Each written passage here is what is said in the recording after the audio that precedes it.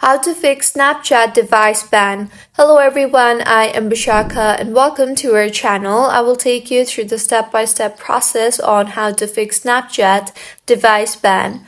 Now let's get right into the tutorial. The first and the most important step is open your app store and search for Snapchat and make sure the Snapchat application is updated to its latest version for the app to function smoothly.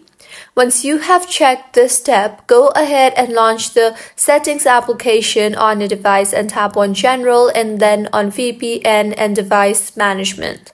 Here, make sure that your device is not connected to any type of VPN services. Next fix for this issue is open your preferred browser and in the search bar search for Snapchat support and tap on this particular link you see here. Here you will then see the option for my account is compromised. Tap on that and further under what can we help you with, tap on the I can't access my account option and under oh no tell us more tab, tap on the My account is locked option.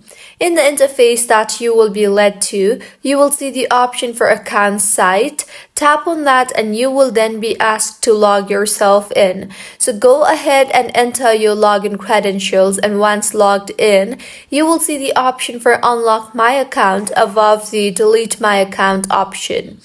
Tap on that and then tap on the unlock again button in order to unlock your account. And this is how you can fix Snapchat device ban. If you find this tutorial helpful, please make sure to like the video and to subscribe to our channel for more content like this. Thank you for staying with us until the end.